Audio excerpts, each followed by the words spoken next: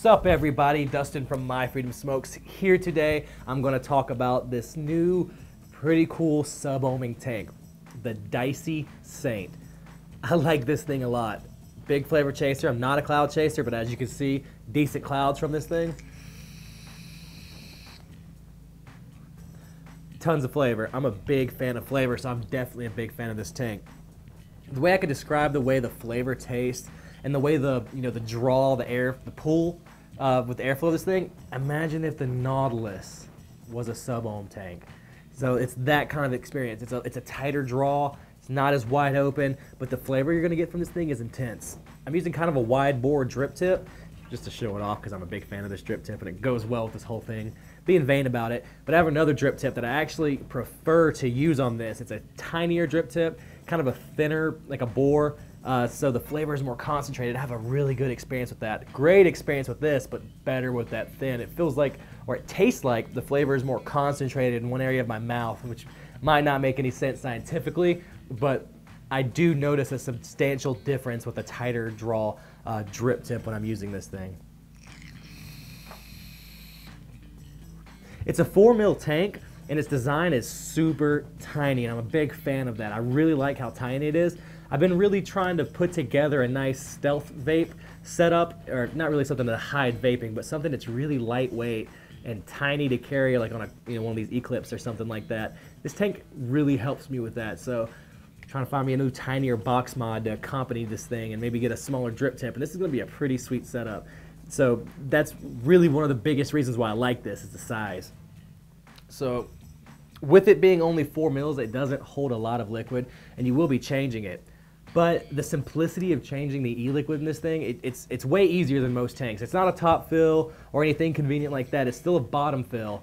But when you unscrew the thing and you take it apart and you look at where the holes where you put it in, it's just a series of like, I think 10 holes, nine holes drilled around the base. So it's basically just a, a net there that you just poured or dripped the e-liquid into to fill it up.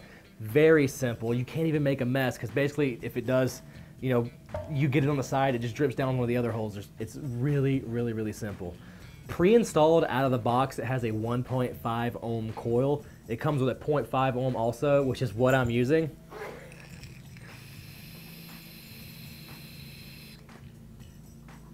I'm getting great flavor from both. When we got this sample in to review, I use this thing so much that I burnt through both of the coils and had to wait until we got more coils just to do this review video because I love this thing so much.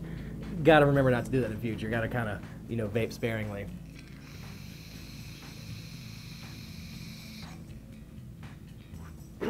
It's made from 304 stainless steel and Pyrex, which means you don't want to drop it, but I throw a vape band on mine. Everything else about this thing, it's very surgical, nice. You're not going to strip the threads.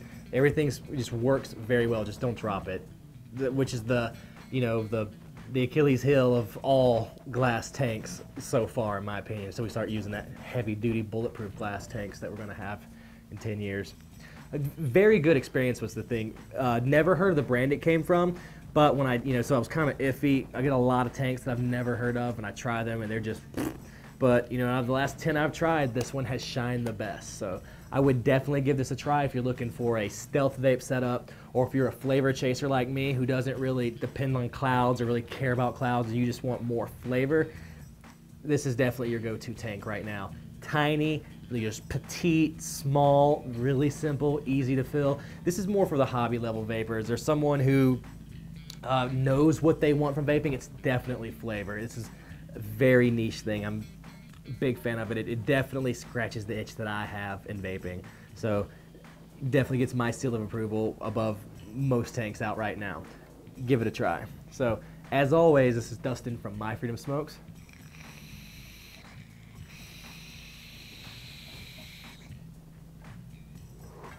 Thank you for vaping.